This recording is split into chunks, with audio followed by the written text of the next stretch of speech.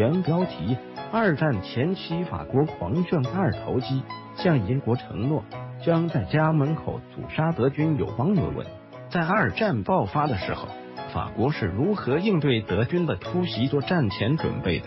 大家都知道，在波德战争爆发之后，英法以同盟国的身份向德国宣战，但在宣战之后，英法却分别做出了一个奇葩的决定。首先是英国，在宣战过后，英国内阁一直在对是否派出远征军做投票。在做决议期间，波兰靠着骑兵跟德国的坦克师对攻，伤亡惨烈。而法国也非常奇葩，法军统帅部把兵团拉到了防线边境备守，眼睁睁的看着波兰被摧毁却无动于衷。也就是在这种情况之下。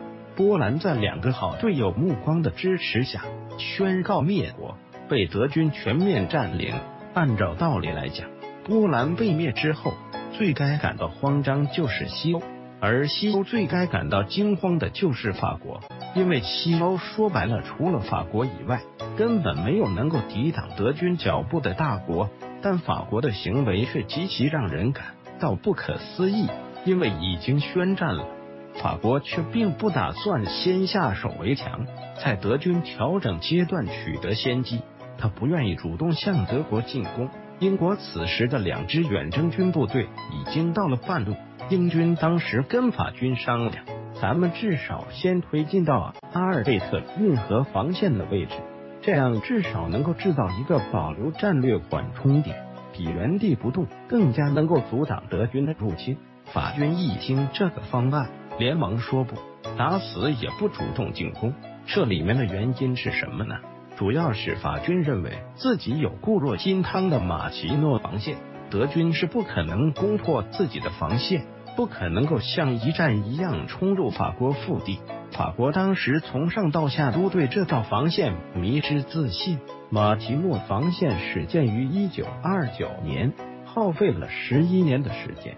花了两千亿法郎，打造出一条全长七百五十余公里、覆盖了法国东部全部边境线、拥有五千六百个永久防御工事的防线。当时这条防线被称之为不可攻破的世界第一防线。大家都知道，法国陆军号称世界第一陆军，而再加上这条世界第一防线，难怪法国总理博鲁姆会信誓旦旦的说。我们的军队在防守方面可以说是呱呱叫。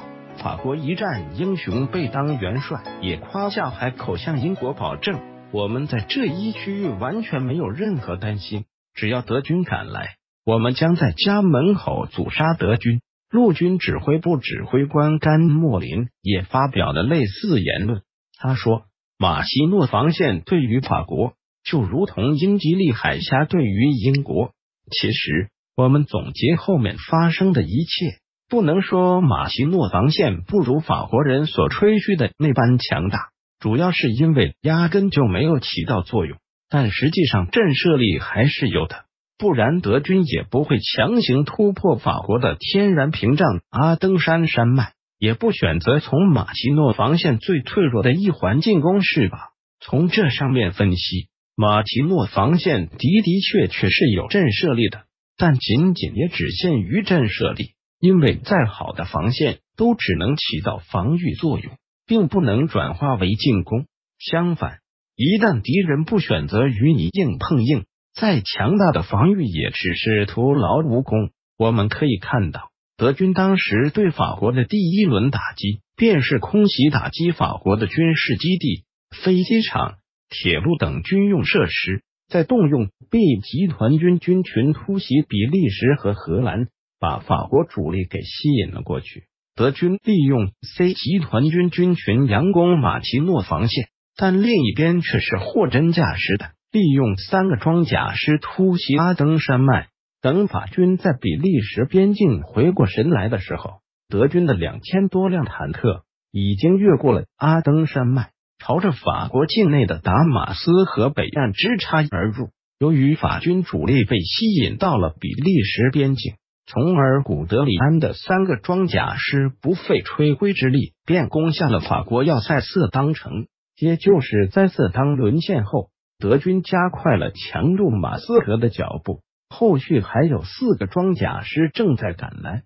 这一天是一九四零年的五月十四日，也就是说，自五月十日德军突袭比利时和荷兰后，花了四天的时间就绕过了法军引以为傲的防线，插入了法国境内。也正是从这时起，当德军渡过了马斯河后，直面是巴黎和英吉利海峡，右侧面是英法主力部队面临被包抄，左侧面是陷入腹背受敌的马奇诺防线的守军。法国在这一天给英国首相丘吉尔打电话，开头的第一句就是法国输了。法国自己也知道，一旦德军冲进来，那没法抵挡了呀。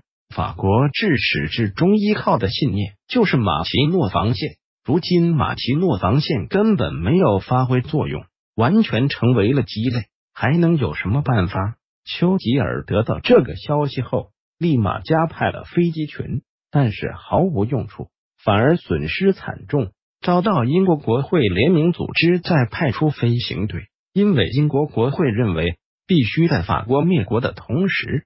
保留守卫英伦三岛的力量。从古德里安七个装甲师陆续渡过马斯河后，德军各级团军军群开始陆陆续续冲进法国腹地。而这个时候，法国噩梦终于来临了。返回搜狐，查看更多责任编辑。